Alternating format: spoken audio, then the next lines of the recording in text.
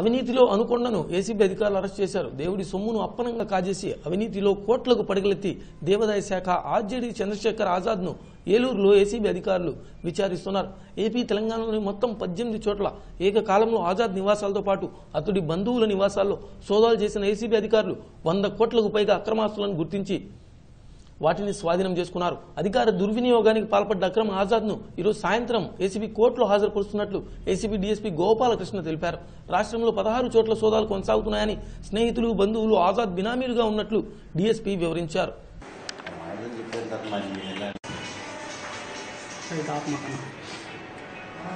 regional joint commissioner Salem Surya Chandrasekhar Azad.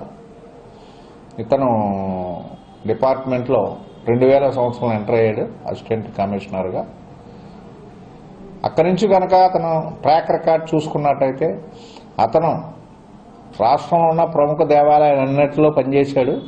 And other hand అన్ని చోట్ల అతని మీద ఆరోపణలే అధికార దుర్వినియోగం ఫండ్స్ మిస్అప్రాపరేషన్ ఇలాంటి ఆరోపణలు అనేకమైన అనేకమై ఉన్నాయి. అయితే ఇతనికి ఉన్నటువంటి ఫ్యామిలీ బ్యాక్గ్రౌండ్ ఎడ్యుకేషనల్ బ్యాక్గ్రౌండ్ అంటే ఈయన బిఎల్ చేస్తున్నాడు. ఈయన వైఫ్ కూడా అడ్వకేటు. ఇవన్నిటితోటి ఎప్పటికప్పుడు చట్టానికి చిక్కకుండా చాలా జాగ్రత్తగా ఉన్నారు. కానీ మనం ఏంటంటే ఇతని పేరున ఉన్నటువంటి ఆస్తులు చాలా తక్కువ.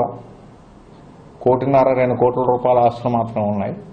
అన్ని బినామీల పేరున పెట్టి ఉన్నారు ఆ బినామీల పేర్లకు పెట్టి ఆ బినామీని లీగలైజ్ చేసుకోవడానికి వీళ్ళ బ్రదర్ని వాడుకున్నాడు ఇక్కడ వాళ్ళ బ్రదరు వ్యాపారం చేసి ఉండొచ్చు కానీ అతనికి ఒక్కసారిగా అంత పెట్టుబడి ఎలా వచ్చింది అనేవి అన్నీ కూడా దర్యాప్తులో మేము తీసుకుంటాం.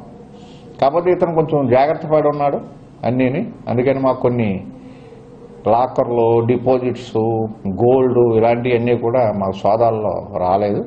కానీ మా దర్యాప్తులో భాగంగా మాకు investigation is the power of the investigating officer అన్ని బ్యాంక్స్ నుంచి అన్ని డీటెయిల్స్ తీసుకుని దీన్ని కూలంక్షంగా దర్యాప్తు చేసి చాలా పకడ్బందీ కేసు మేకౌట్ చేస్తాము. ఇప్పటికే అక్కడ ఉన్నటువంటి సోలార్ పవర్ ప్లాంట్ బినామీల పేరున కొన్నాడు అనే దానికి మాకు ప్రాథమిక సాక్ష్యాలు ఉన్నాయి. దాన్ని ఇంకా మరింత బలమైన సాక్ష్యాలుగా సేకరించి చేస్తాము. ఈ కేసులో మరి స్టేట్ మొత్తం అన్ని ఆఫీసుల నుంచి డిఎస్పీస్ సిఐస్ కూడా మాకు టీమ్స్కి పార్టిసిపేట్ చేశారు. ఇదంతా కూడా మా డీజీపీ శ్రీ ఠాకూర్ గారి నేతృత్వంలో ఈ టీమ్స్ అన్ని ఫామ్ చేసి చేశాము. ఉన్నవాళ్ళు మరి వేల పదిహేను కోట్లు రికార్డెడ్గా అప్పు తీసుకుని ముప్పై రెండు ఎకరాల్లో సోలార్ పవర్ ప్లాంట్ పెట్టారు. ఇదంతా కూడా ఈ గ్రోత్ అంతా ఒక త్రీ ఫోర్ ఇయర్స్ గ్యాప్లోనే. సో మనకు ఉన్నటువంటి సమాచారం ఏంటంటే ఈయన అవినీతి ద్వారా సంపాదించినటువంటి సొమ్ముల్ని వాళ్ళ ద్వారా పెట్టుబడి పెట్టించి దీన్ని మల్టిప్లై చేస్తాడనేది మనకి